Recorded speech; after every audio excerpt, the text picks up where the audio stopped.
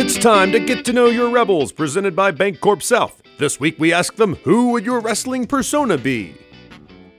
Ed Hardy. The Hardy Boys is live. They be jumping off. The, oh, hey. Triple H. Triple H. He want to be The Rock. I be Triple H. He want to be Booker T. I want to be Big Show. WWE. I don't watch wrestling like that. You, well, Long time ago. I'm talking- You used to watch wrestling. Nah, I ain't watch wrestling. Stone Cold, Triple H, you know, I don't know. The Rock. That's the only one I like. The Rock, oh. Undertaker. Now real talk, I want to be Shawn Michaels so I can sweet chin music come out. You look like Scotty Too Hotty or something.